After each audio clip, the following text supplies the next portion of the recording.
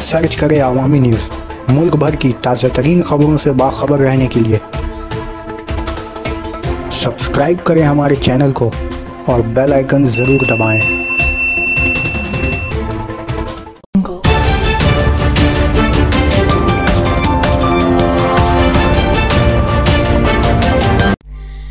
कानकी नारा स्टेशन में शरपसंदों के बम अंदाजी से एक शख्स की मौत कानकी नारा स्टेशन में एक मुसाफिर को शरपसंदों की जानिब से निशाना बनाए जाने और इसकी मौत हो जाने पर एक बार फिर से कानकी नारा सुर्खियों में आ गया है।